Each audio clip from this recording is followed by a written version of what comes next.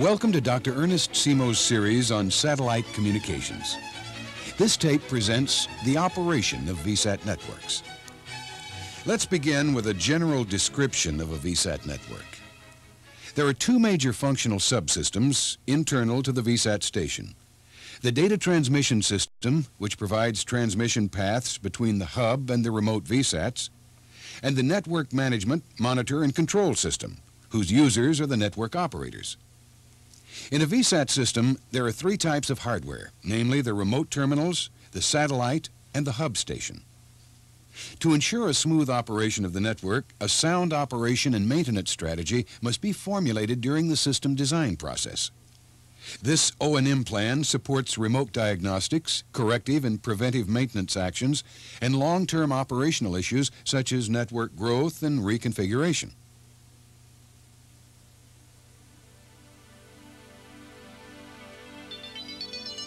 The remote VSAT station provides connectivity from the remote user equipment to the central hub via satellite.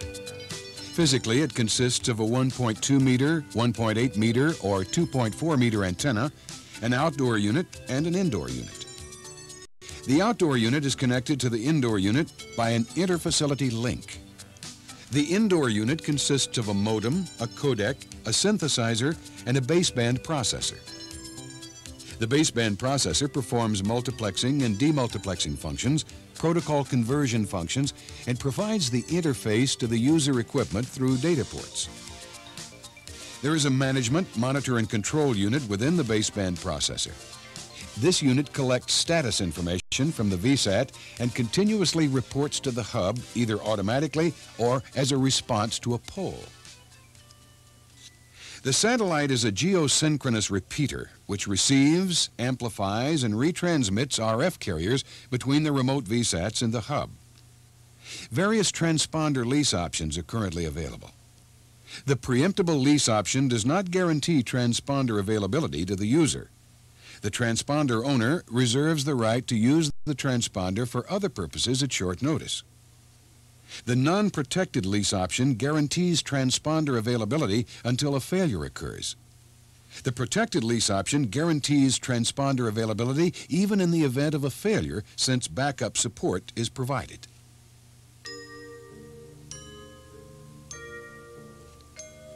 For optimum utilization of the space segment resources, the multiple access scheme used on inbound channels is different from that used on outbound channels. This is due to the different and often asymmetrical characteristics between the inbound and outbound traffic requirements in VSAT networks. For inbound link transmission, there are currently three preferred multiple access techniques used in VSAT networks. Code Division Multiple Access, CDMA, using spread spectrum technology, is the method developed for C-band applications. For KU-band systems, time division multiple access, TDMA, random access, and their derivatives are the preferred strategies. Let's review these multiple access techniques. Code division multiple access allows several users to share one satellite channel simultaneously. However, systems using spread spectrum technology are very bandwidth inefficient. Time division multiple access divides the transmission and access time to a satellite channel into slots.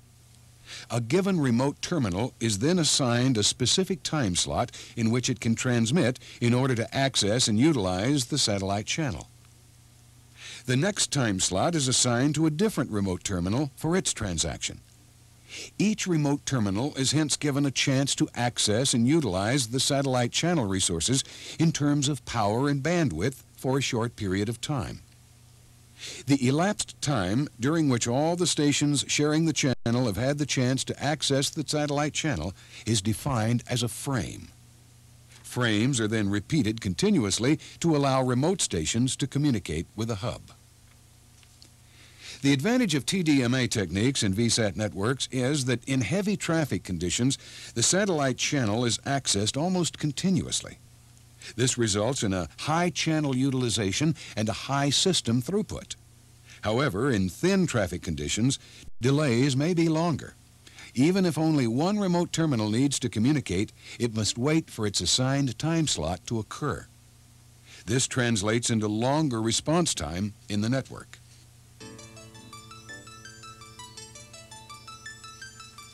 Random access methods allow a remote VSAT station to transmit whenever it's ready to send information without having to wait for a time slot or a command from the network control center.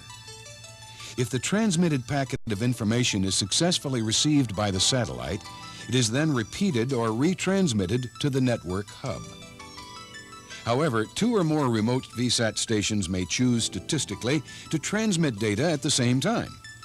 Since several remotes are using the same frequency to share the satellite channel, these simultaneously transmitted packets of information may collide and get destroyed.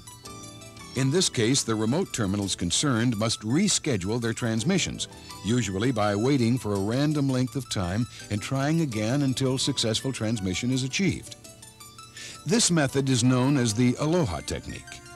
System response time and throughput using Aloha techniques can be greatly improved by dividing time into slots and allowing a VSAT station to transmit only at the start of a given slot. This strategy is known as slotted Aloha.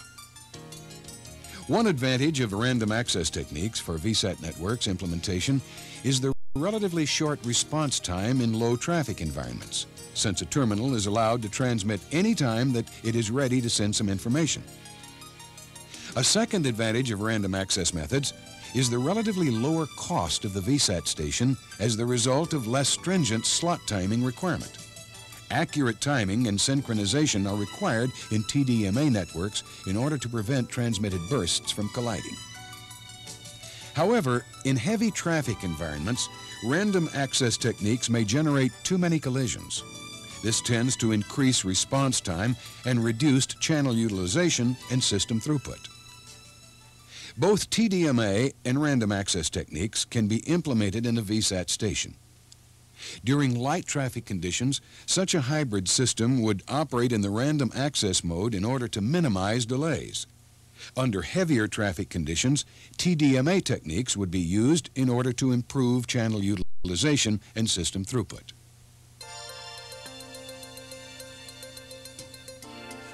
The hub station consists of two groupings of equipment. The transmission system group supports the data transmission function and consists of the antenna subsystem, the RF subsystem, and the baseband subsystem. The monitor and control group provides the network management, monitoring and control functions, and consists of a main processor and several operator workstations. Typically, the monitor and control processor is implemented on a mainframe computer which is configured with a processing unit, disk storage, line printers, and interfaces for communication with the remote VSATs. This processor is the heart of the network management, monitoring, and control system and maintains data about the current status and configuration of every VSAT and hub equipment. The network operators control and administer the network via the operator workstations. Status data is sent by the central processor to the workstations upon request, while alarms are sent as soon as they are diagnosed. The menu-driven and user-friendly forms allow operators to display the information received from the central processor. Control information originates with a command entered by an operator at a workstation.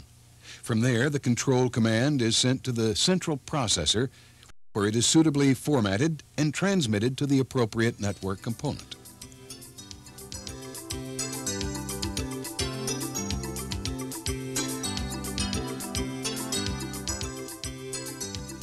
The data flow in a VSAT network is interesting. Current VSAT networks are configured in a star arrangement with all the remote VSATs connected to the hub via satellite. Each VSAT to hub connection typically provides a full duplex circuit operating at data rates of up to 256 kilobits per second.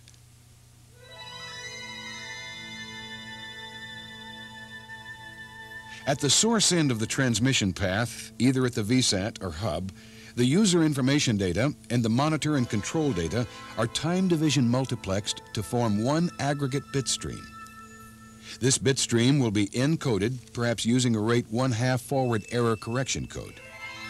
The encoded bit stream will then modulate an IF carrier through a process known as phase shift keying, PSK, whereby the phase of the carrier is suitably changed to represent binary values. For example, a carrier phase of 0 degrees would represent a binary 0, while a phase of 180 degrees represents a binary 1. So by detecting the correct phase changes at the receiver, the original data stream can be recovered. The modulated IF carrier is up-converted, amplified, and transmitted via satellite to a destination location. At the destination, the RF carrier power is collected by the receiving antenna, amplified, down-converted, and demodulated. The encoded bit stream is decoded and demultiplexed to separate the data channels. The user information data is sent to the user device and the monitor and control data is sent to the monitor and control equipment.